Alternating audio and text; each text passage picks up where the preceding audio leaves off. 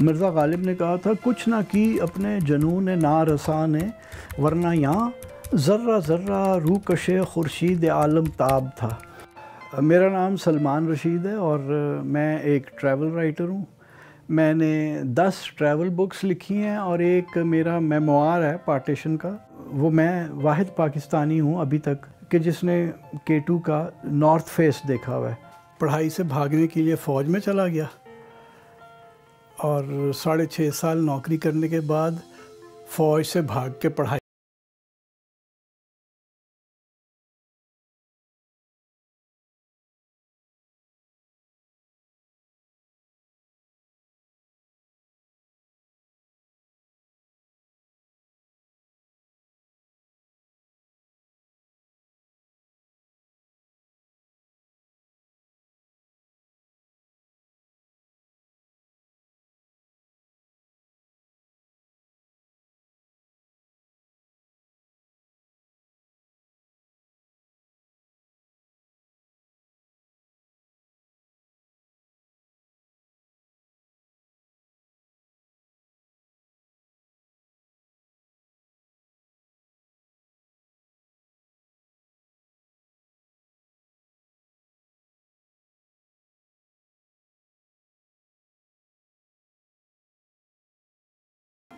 euh,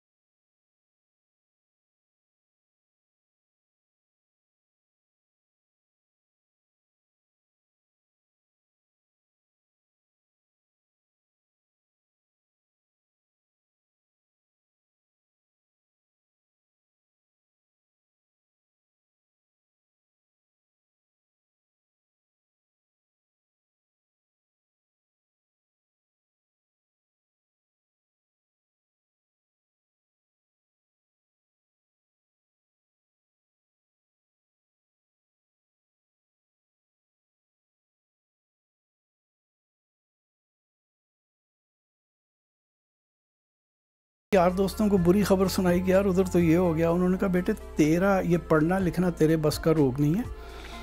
تو فوج میں جا۔ میں کافی نورا کیڈیٹ بھی تھا۔ کوئی اتنا اچھا کیڈیٹ نہیں تھا۔ صرف ایک چیز جو میری اچھی تھی، وہ میپ ریڈنگ تھی۔ میں نے ایک دن جا کے استعفیٰ پیش کر دیا کہ سر، میں بس اب جانا چاہتا ہوں۔ فیبرری انیس سو اٹھتر کی بات ہے۔ ورنہ میں ایک گنجا ریٹائرڈ میجر ہوتا۔ گنجا تو اب بھی ہوں۔ میرا یہ خیال تھا کہ میں ایک جنٹلمن فارمر بنوں گا، یہ فوج چھوڑ کے۔ تو وہ پھر خیر، کراچی میں جب میں تھا تو وہ دانیال نوید نے مجھے کہا کہ میں تجھے یہاں سیمنز میں تو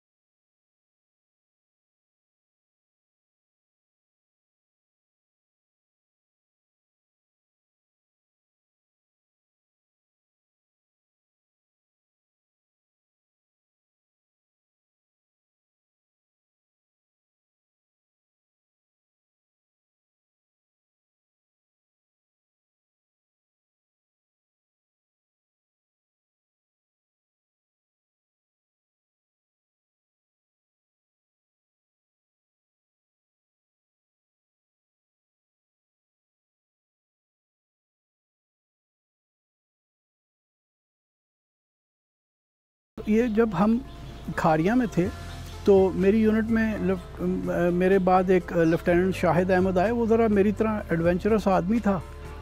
تو میں سارا دن دوربین سے بیٹھ کے ٹلہ کی جو چوٹی تھی، اس کو اسٹڈی کرتا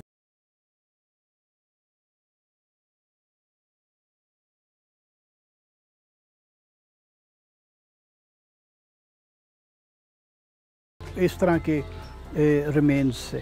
تو پہلے تو ایسے ہی بسوں پہ بیٹھ کے اس وقت کار وار بھی نہیں تھی تو بس کے اوپر بیٹھ کے مثلا ٹھٹھا دیکھنے چلا گیا، رات جا کے آگے جنگل میں گزاری۔ تو اس طرح کی حرکتیں میں کیا کرتا تھا۔ تو تھوڑی دنوں میں وہ کمپنی میں مشہور ہو گیا کہ یہ کیپٹن سالہ پاگل ہے، پتہ نہیں کہاں جاتا ہے۔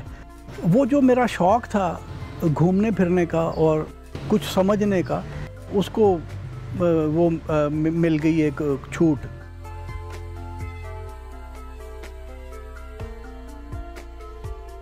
اس زمانے میں پی ٹی ڈی سی والے ایک میگزین نکالا کرتے تھے فوکس آن پاکستان میں نے کہا کہ جی آپ ایسے کریں کہ کسی کو بھیجیں، رنی کوٹ کا ایک قلعہ ہے، فلاں جگہ ایسے جا کے آپ پہنچتے ہیں۔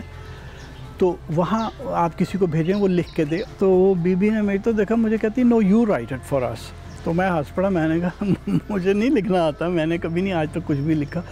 Ranikot fort for me was a known that time because we had not published any material on that fort The place, we were told, was infested with devils. And he told me so many things about Ranikot Fort, how to get there, what to do there. Within a week's time, Salman Rashid was back in my office with photographs of Ranikot, beautiful photographs. So Salman Rashid, the travel writer, was born after this article he wrote on Ranikot Fort, which was published in Focus in Pakistan. And very proud to announce that Salman Rashid started writing on my cajoling him to write. Today, Salman Rashid has more than 12 books to his credit. Everybody loves to read about uh, Salman Rashid's uh, travel writings. His columns are appearing both in English and Urdu, and is a renowned travel writer of Pakistan.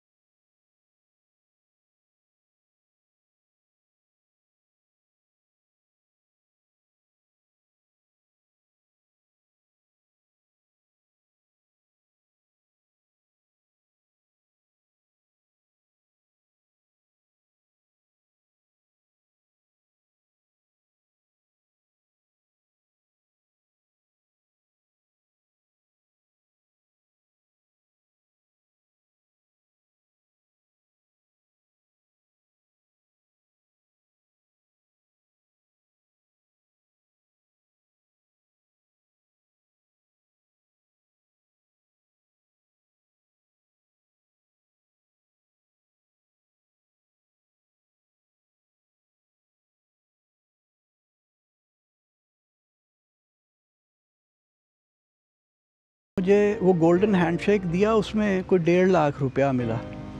تو خیال یہ تھا کہ جی یہ جو ڈیڑھ لاکھ روپیہ company سے ملا ہے نا، وہ ستر اسی ہزار روپے اس زمانے میں لگنے تھے۔ وہ جو پوری ایکسپیڈیشن تھی، میں دیکھنا چاہتا تھا کہ شپٹن اور ٹلمن نے انیس سو سینتیس کی جو شخص گام ایکسپیڈیشن تھی، اس پہ جو ہماری طرف کے کراکرم پہاڑوں میں جو نقشہ سازی کی، اس کے، وہ کہاں کہاں گئے؟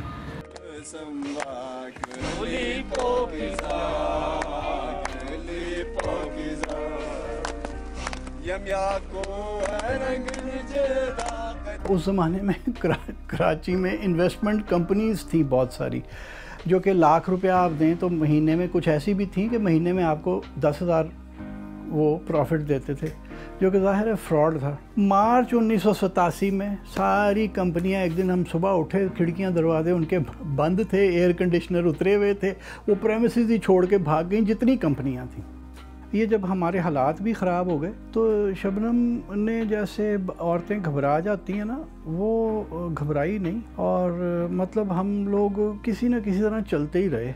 اچھا ایٹی سیون میں کراچی کے حالات اتنے خراب ہو چکے تھے کہ ہم نے یہ طے کر لیا تھا کہ اب یہاں رہ نہیں ہم سکتے۔ اوان ٹاؤن ہے ملتان روڈ پہ۔ تو جو اس وقت اس کے حالات تھے، میں اسے حیوان ٹاؤن کہا کرتا تھا۔ وہاں ایک چھوٹے سے گھر میں ہم آ کے رہے۔ اور پاکستان ٹائمز میں لکھنا شروع کیا۔ آئیے رحمان صاحب، اس وقت اس کے ایڈیٹر تھے۔ بینا نے، بینا سرور نے فرنٹیئر پوسٹ چھوڑا تو نائنٹی تھری میں آ گئی دا نیوز آن سنڈے میں اور مجھے کہتی ہے، یہاں تمہیں اتنے پیسے ملیں گے، تصویر کے علیحدہ ملیں گے اور تمہارا سفر خرچ بھی ہم دیں گے۔ تو وہ بڑا مزیدار کام ہو گیا۔ تو نیوز نیوز آن سنڈے میں جب ہم نے نیوز آن فرائیڈے تھا اس وقت، تو جب میں آئی تھی وہاں پہ، تو میں کافی مطلب کہ اپنی شرطیں منوا کے آئی تھی جنگ گروپ کے ساتھ۔ اس زمانے میں تو یہ تھا کہ آپ لکھیں تو آپ کے اوپر احسان ہو رہا ہے کہ ہم آپ کا چھاپ رہے ہیں۔ تو ہم نے اس طرح کا اسٹیبلش کیا تھا۔ جو بھی ہمارے لیے لکھ رہا تھا، تو ہم ان کو مطلب کہ کمپنسیٹ صحیح سے کرتے تھے۔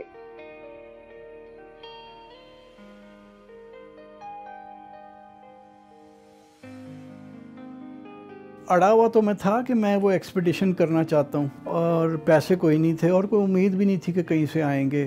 میرے بچپن کا اسکول کا ایک دوست تھا ہے بلکہ پرویز صالح۔ اب پرویز کو جب پتہ چلا تو وہ کہتا ہے، پیسے رینج ریز کرتے ہیں تمہارے لیے۔ ایک سوال بڑا عام ہوتا تھا، نہ اس کتاب دا فائدہ کی یہ مت ایک جاہل قوم سے آپ یہی توقع کر سکتے ہیں۔ تو جس کا میرے پاس کوئی جواب نہیں تھا۔ پرویز نے پھر بس کسی نہ کسی طرح کر کے مجھے ستر ہزار روپے دلا دیے۔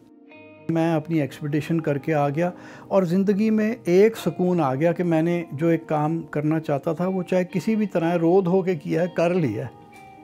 لیکن ابھی وہ جو ایکسپیڈیشن انیس سو نوے کی کی، اس کے اوپر لکھنے کے لیے مواد پورا نہیں تھا۔ تو ایک ریسرچ کی ضرورت تھی۔ تو وہ پھر شروع ہو گیا کہ کوئی ٹکٹ دے دے بھائی لندن جانے کا۔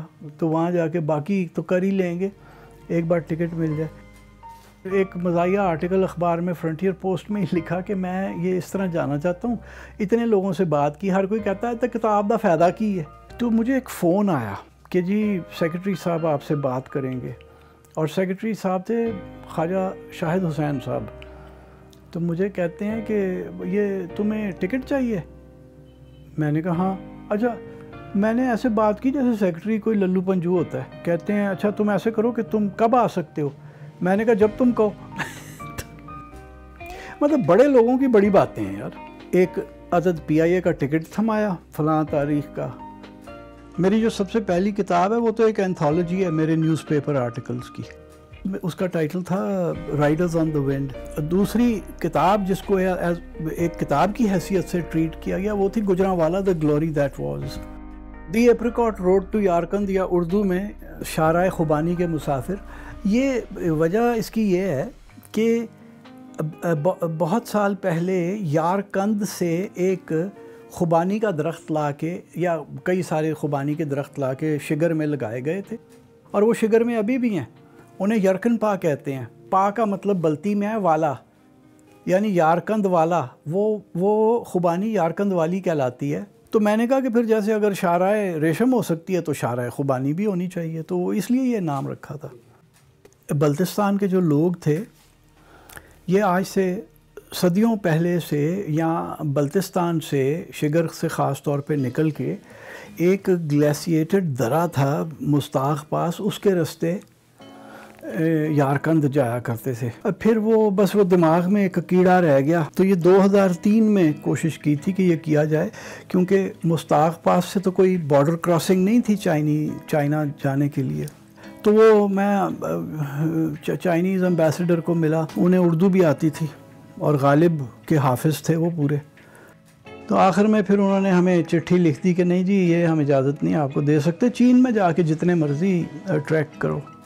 دو ہزار پانچ میں مجھے پھر فیکس آ گئی، ہینڈ ریٹن فیکس، سید جلیل عباس صاحب کی طرف سے۔ انہوں نے ایک جو فکرہ تھا I am well acquainted with your work دوسرا جو آؤٹ اسٹینڈنگ فکرہ تھا، وہ کہتے ہیں I have sanctioned one million rupees for your expedition تو اس طرح چین چلا گیا، وہاں سے کارگلے کا آیا۔ بڑی مشکل کا وہ تھا مرحلہ، کیونکہ بہت دن ضائع ہوئے۔ وہاں سے آگے وہ سات دن کا سفر تھا پیدل۔ جو سرفا لگو گلیسیئر ہے، اس کے بالکل نیچے جہاں وہ ختم ہوتا ہے، جہاں سے اس کا دریا نکل رہا ہے، وہاں تک میں پہنچا۔ ان کاموں میں تو کوئی بھی نہیں ہے ہم میں سے۔ اور جو بیچارے کرنا چاہتے ہیں، ان کے پاس تو سرمایہ نہیں ہے یہ کرنے کا۔ جن کے پاس سرمایہ ہے، ان کو ان چیزوں کی ہوش کوئی نہیں ہے۔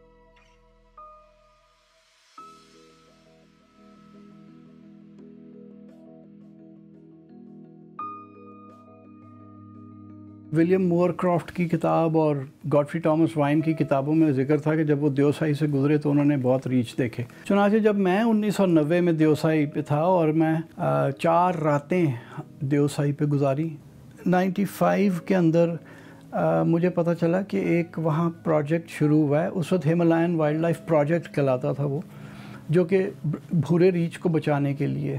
نوے کے اشرے کے شروع میں دیوسائی پہ صرف کچھ چھ کے سات ریچ بچے تھے۔ بڑی محنت کی گئی اور بڑا کمال کا کام کیا گیا۔ یہ ابھی جو آخری سروے ہوا ہے میرا خیال ہے دو ہزار تیرہ یا چودہ میں، تو اس میں وہ کوئی اسی کے قریب ہیں ریچ مجھے پھر انہوں نے ستانوے کے جولائی میں دیوسائی بھجوایا۔ وہ کافی کچھ دیکھنا، ریچھوں کا، کی سمجھ بھی آئی۔ تو انہوں نے مجھے کہا کہ ایک کتاب لکھنی ہے۔ اس کے اوپر ہم نے دو ہزار ایک میں میں نے اس کے اوپر کام شروع کیا۔ اب اس وقت تک میں دیوسائی چار یا پانچ دفعہ ہوا آیا ہوا تھا۔ اور اچھے اچھے خاصے دن گزار کے۔ تھا یہ کہ میں نے فوٹوگرافی بھی کی۔ میں نے اپنے آپ کو کبھی بھی فوٹوگرافر نہیں مانا۔ ندیم خاور سے پرانی دوستی تھی۔ میں نے دیکھا کہ بڑا ایک آدمی بہت ہی کین ہے اپنے کام میں۔ بڑا تندہی کے ساتھ کام کرنے والا، سیریس آدمی شودے جیسے ہوتے ہیں نا، وہ نہیں ہے۔ دو ہزار سات یا آٹھ میں میں نے ندیم کو کہا کہ یار، فوٹوگرافی میری تو کس قابل کی نہیں ہے۔ تو اگر تم کر دو تو ہم یہ کتاب چھاپ لیتے ہیں۔ تین چار سال ندیم نے کچھ وقت لگایا۔ دو ہزار دس میں پورے تین مہینے ندیم پہلے جیپ اپنی لے گیا۔ وہ وہاں پہ گھومتا رہا۔ دیوسائی میں راتیں گزاری دن گزارے۔ مشکل وقت گزارے اور فوٹوگرافی کی، پھر جیپ شاید خراب ہو گئی تو اس نے اپنا موٹر سائیکل لاہور سے منگوا لیا۔ پھر موٹر سائیکل پہ دیوسائی میں پھرتا رہا۔ میں سمجھتا ہوں کہ اس سے بہتر کام نہیں ہو سکتا تھا فوٹوگرافی کا۔ اس میں تاریخ ہے، جغرافیہ ہے، اس میں سارا کچھ ہے، کلچر ہے، سب کچھ ہم نے شامل کیا ہوا ہے۔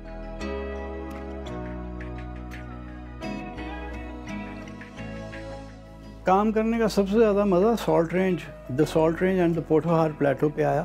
کیونکہ جتنا میں نے اس کتاب کے لیے پڑھا، وہ میں نے نہ کبھی پہلے پڑھا تھا، نہ اس کے بعد اس طرح کی کانسنٹریٹڈ اسٹڈی کی۔ میں سمجھتا ہوں کہ میں نے کچھ نہیں تو چند دو ہزار کتابیں تو ضرور پڑھ لی ہوں گی۔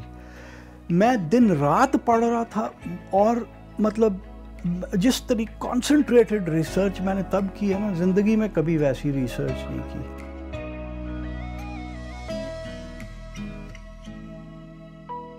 وہ ہمارے یہاں تو اردو میں سفر نامے کا ناس ہی مار کے رکھ دیا گیا ہے نا، وہ تو ایک چوتھی جماعت کے بچے کی میں نے چھٹیوں میں کیا کیا والی رپورٹ ہے، مری گئے، ہم نے ہی ہی ہا ہا، ابراہیم نے آئس کریم کھلائی، وہ ٹائپ کی چیزیں بن گئی ہیں۔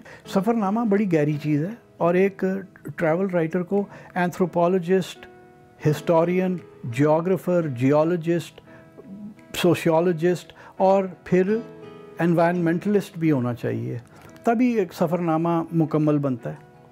میں شاید سلمان کے علاوہ کسی ایسے ٹریول رائٹر کو نہیں جانتا جس نے ٹریکنگ کی ہو ماؤنٹینس میں گیا ہو، خود جا کے دیکھا اور لکھا ہو۔ اور اسپیشلی جیسے آپ کہہ رہے کہ انگلش ٹریول رائٹر مائٹ بھی اخباروں میں بہت سارے لکھتے ہیں، وہ جیپ ٹریکر ہوتے ہیں جیپ میں بیٹھے ادھر سے اترے، دوسرے کنارے پہ چلے گئے اور آ کے پیس لکھ دیا ڈیٹ نتھنگ لیکن سلمان میں ایسا نہیں ہے۔ سلمان نے اگر لکھنا ہو تو وہ سیریسلی اس علاقے کو وزٹ کرتا ہے۔ اس کی تحقیق کرتا ہے اور جو بھی سچ ہے اس کو لکھنے کی کوشش کرتا ہے۔ وہ فیسینیشن میں نہیں جاتا۔ وہ جھوٹ اس طرح نہیں لکھتا کہ تاکہ اس میں ایک کلر ایڈ کر سکے۔ وہ خوش قسم کا رائٹر ہے اور اس کی وجہ یہ ہے کہ وہ سچائی کی تلاش میں ہے، سچائی لکھتا ہے۔ بہت صاف دل ہے سلمان رشید کا۔ اور سلمان جیسے لوگ جو ہیں، وہ ہمارے ملک کا اثاثہ ہیں۔ وہ پورا ملک گھوم چکے ہیں۔ وہ تو وہ پاکستان کو اس طرح سمجھتے ہیں تو اس طرح بہت کم لوگ سمجھتے ہیں میرا خیال ہے۔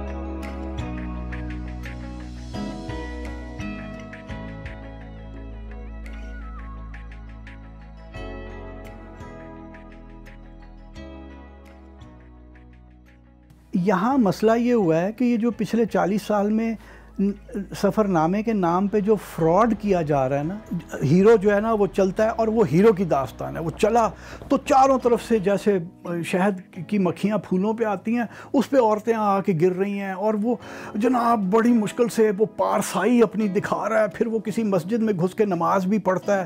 وہ یہ ساری، یہ سب جھوٹ ہے۔ میں یہ سمجھتا ہوں کہ اگر آپ ٹریول رائٹر کے لیے ٹریول بننے کے لیے جا رہے ہیں، تو وہ ایسے نہیں ہے کہ آپ ایک دن اٹھے اور چلے گئے۔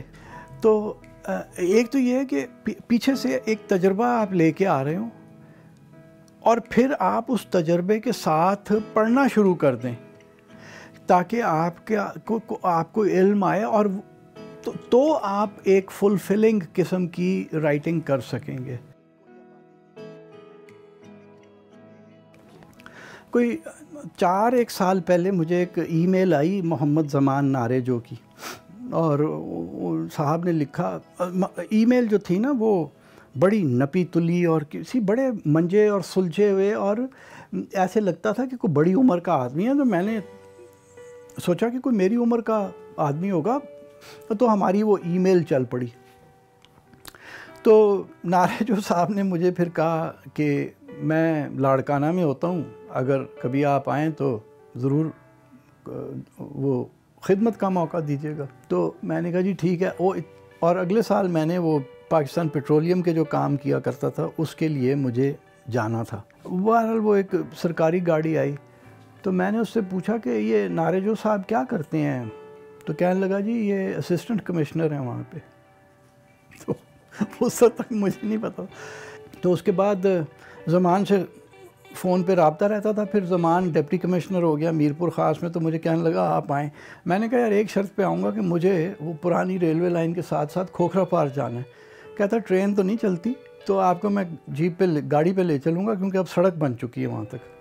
تھوڑے دن کے بعد زمان نے کہا، میں مٹھی میں ڈپٹی کمشنر آ گیا ہوں، تو آپ یہاں آئیں۔ تو جنوری دو ہزار سترہ میں میں پہلی بار مٹھی گیا، کو پندرہ دن کے لیے اور زمان نے اور میں نے کافی ایڈونچر کیے۔ وہاں کاروں جھر کے پہاڑ پہ بھی ہم چڑھے اور بہت کچھ دیکھا۔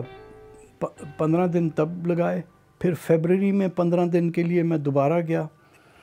پھر مارچ میں میں دوبارہ گیا۔ پھر میں نے ساون کا انتظار کرتا رہا۔ پھر آ کے لکھنے سے پہلے ہمیشہ مرحلہ ہوتا ہے نا کہ وہ میں ذرا پڑھ لوں کہ سب چیزیں میری ٹھیک ہے، میرا کوئی نالج میں کمی تو نہیں ہے۔ تو وہ ایک لمبا سلسلہ شروع ہوا۔ دسمبر دو ہزار سترہ گزر گیا۔ میں نے کہا تھا میں بڑی جلدی لکھ دوں گا، لیکن جب ایک بار آپ پڑھتے ہیں نا کسی چیز میں، پھر آپ کو پتہ چلتا ہے، آپ کو تو کچھ بھی نہیں پتہ اب میں بالکل آخری مرحلے میں ہوں۔ پھر زمان کے اپروول کے بعد میں یہاں ایک جس ڈیزائنر نے دیوسائی والی کتاب ڈیزائن کی ہے، اس کے ساتھ بیٹھ کے کام کروں گا۔ مثلا گوڑی کی ایک تصویر ندیم نے مجھے دکھائی، میں نے کہا، یار، یہ تو لازمی مجھے تم نے دینی ہے۔ وہ بڑے خوبصورت بادلوں کے ساتھ ہے وہ تصویر۔ اچھا اس میں ہسٹری ہے۔ اس میں وہ عجیب عجیب باتیں ہیں جو کہ کبھی کسی نے ان کے بارے میں لکھا نہیں ہے۔ میرا رونا یہی ہے کہ لوگ پڑھتے نہیں ہیں۔ لوگوں نے کبھی کچھ پڑھا نہیں۔ تو وہ، مثلا تھرپارکر جو ہے نا جی یہ اگر آپ پرانے گیزٹیئر بھی دیکھیں، تو اگر دو تہائی ہندو اور جین تھے تو ایک تہائی مسلمان تھے، مٹھی، نگر پارکر، اسلام کوٹ، جتنے بھی بڑے شہر تھے، وہاں پہ یہ تناسب تھا ہندو مسلمان کا۔ تو اسلام کوٹ نام کیسے پڑ گیا؟ اسلام کوٹ مسلمانوں نے رکھا تھا نام۔ اس قسم کی باتیں ہیں، پھر کلچر کی ہیں کہ لوگ کیا، کیسے زندگی گزرتی تھی۔ اچھا اور جو سب سے بڑی بات تھی وہ یہ تھا کہ میری بیوی نے اور میں نے پہلی بار مٹھی انیس سو چوراسی میں دیکھا تھا۔ ایک نقشہ میرے ذہن میں تھا کہ انیس سو چوراسی میں کیا تھا۔ اسلام کوٹ کیسا تھا، نگر کیسا تھا، بھالوا کا کنواں کیسا تھا، یہ یہ سارا کچھ دیکھا ہوا تھا۔ وہ جب اب جا کے دیکھا تو وہ ایک میں موازنہ کر سکتا تھا۔ تو وہ اس کتاب میں بار بار وہ موازنہ ہے کہ انیس سو چوراسی میں پانی لوگ ایسے لیتے تھے، پھر یہ ہوا۔ مثلا کارپٹ ویورز کا ذکر ہے۔ ان کے اوپر کیا مشکلات ہیں، وہ کیسے کام کر رہے ہیں، یہ شالیں بننے والوں کا ذکر ہے، وغیرہ، اس طرح کی بہت ساری باتیں ہیں۔ Assalamu alaikum everybody. My name is Sophia Anjum. I am a radio show host, a TV show host as well as an event host. And I've had the pleasure and the privilege to interview Salman Rashid. And Mr. Salman Rashid is an absolutely enlightened individual. His travel stories, the way that he writes, the way that he uh, sort of perceives life overall also, holistically speaking, is wonderful. So it was a very learning experience for me to be able to interview him as well. And I'm sure that we will get to learn so many things because of his uh, sort of exposure to the world. So um, this is for you, sir. I wish you all the very best and congratulations for achieving so much uh, in this life. And uh, you have been a source of inspiration for many others. So may you continue to grow strong and may you continue to inspire many others. Thank you so much and have a great time.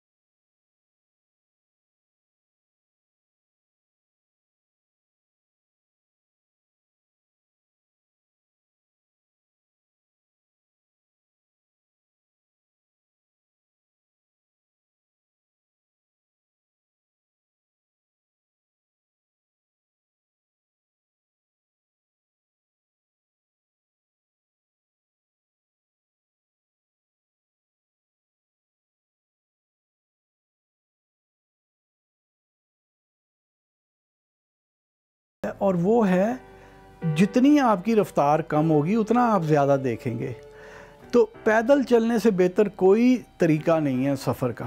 پیدل جب چلتے ہیں نا تو آپ پتھروں سے، درختوں سے، پرندوں سے باتیں کرتے ہوئے جاتے ہیں۔ اور وہی طریقہ ہے دنیا کو دیکھنے کا۔ اور اگر آپ صرف ایک مسافر ہیں تو بھی آپ کو یہ چاہیے کہ جی آپ رکیں، آپ دیکھیں، آپ محسوس کریں اور آپ اس کے ساتھ اور اس کے ہمدرد بن جائیں اس جگہ کے۔ ایک تو جو انگریزی میں آج کل ہر کوئی کہتا ہے ویو ڈن دیٹ تو میں ہمیشہ کہتا ہوں یو ڈونٹ ڈو پلیسز آپ تجربہ یو ایکسپیرئنس پلیسز